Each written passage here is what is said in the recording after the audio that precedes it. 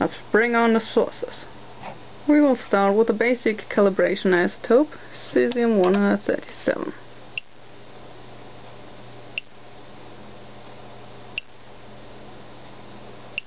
That works fine, but that's still just around 50 microsieverts, and that's what they promised in the manual. But anyway, let's turn on the click because that consumes much more voltage.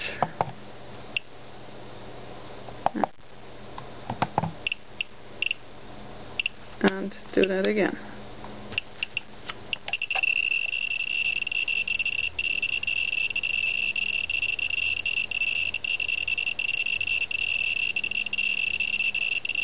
That works just fine. No apparent crashes. No flickering of the screen as there used to be before.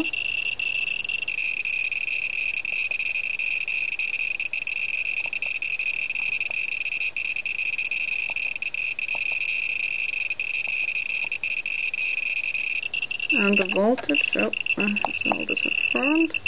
The voltage is just about 3.5 volts as it is supposed to be. It used to drop before, so that's good. Here's a strontium 90 beta source. and then approach that.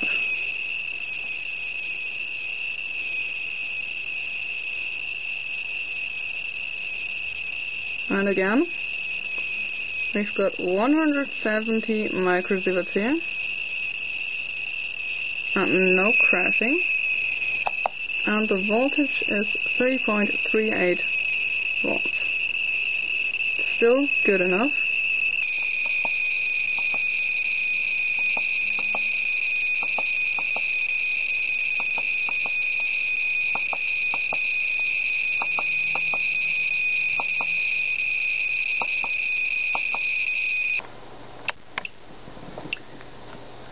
Now here comes the worst nightmare of gamma scout, densely ionizing heavy, big alpha particles.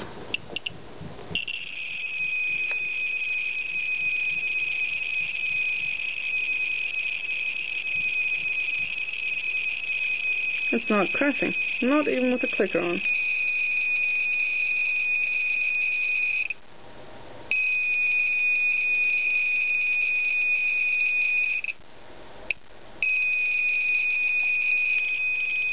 and it works.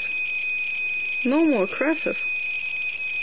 Even at 400 microsieverts, 500, nearly, nearing 500 microsieverts now, still doesn't crash.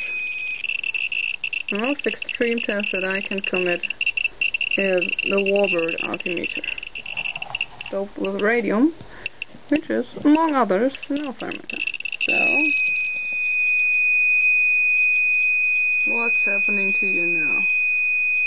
Here's your proper stress test.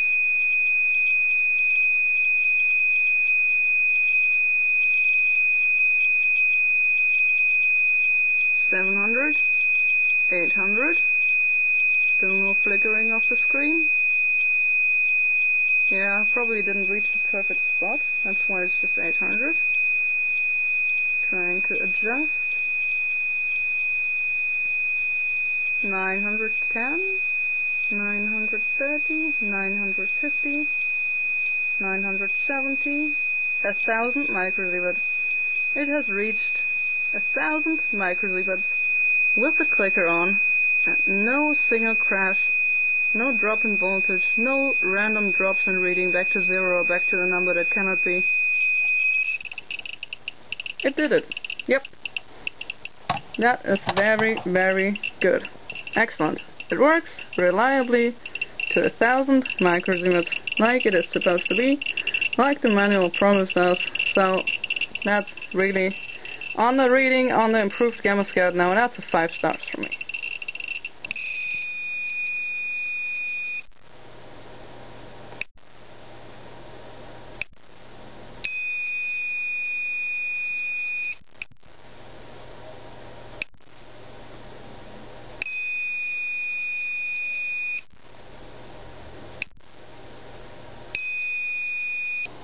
So, in total, what I'm saying about the Gamma Scout is, It's a very tiny and very handy device, that's for sure. You can carry it in the field easily, especially as you can buy specially fit belt pouches like this one.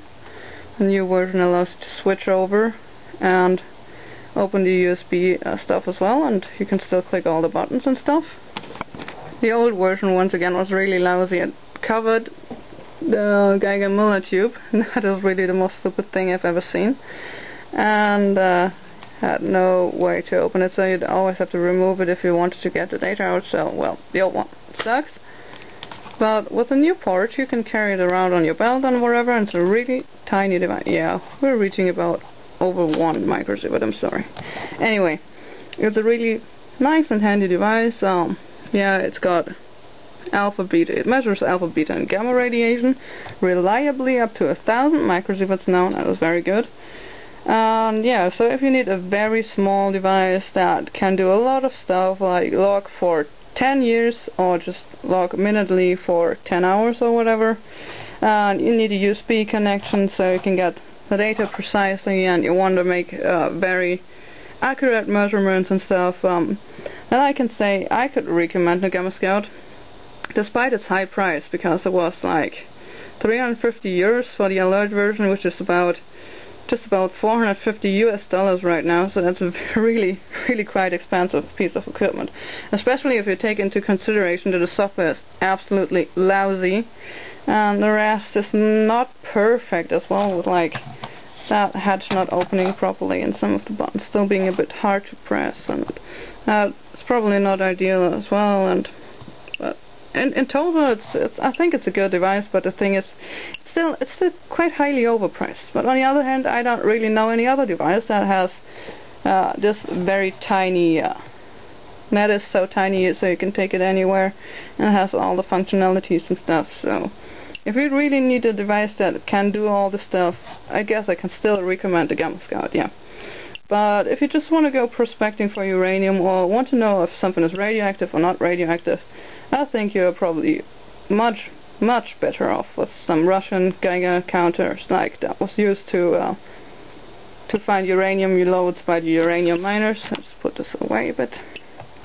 And uh, yeah, I don't think uh, if you just want to go prospecting for uranium or whatever, you you don't really need a Gamma Scout. You can just use any Geiger counter for a much cheaper price that has the same functionality or even better functionality if you've got a pancake probe that is better for prospecting and stuff. But yeah, if you seriously need to log all this stuff, I'd say the Gamma Scout is quite good. So, um, I'd say the Gamma Scout itself gets, because it's now really reliable, up to a thousand microsieverts and has the improved buttons, it still gets a total of four stars. Um, if you take the price into consideration, probably it just gets three stars out of five, we're saying, yeah. Uh, the software, as I said, is just a mere two stars, if at all.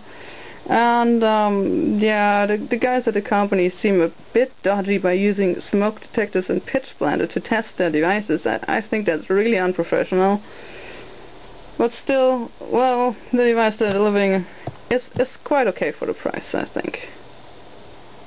By the way, if you're a manufacturer and you sell equipment to measure ionizing radiation, then feel free to send me one of your devices and I will test them thoroughly and give them a proper review. Please keep in mind though that I cannot be purchased for money so I will not tell whatever you want me to tell to other people, but I will give it a proper review and if your device is good then uh, you will get a very good advertising which uh, probably thousands of people would see for just the price of one unit which I'm going to keep. So consider that. Thanks for watching.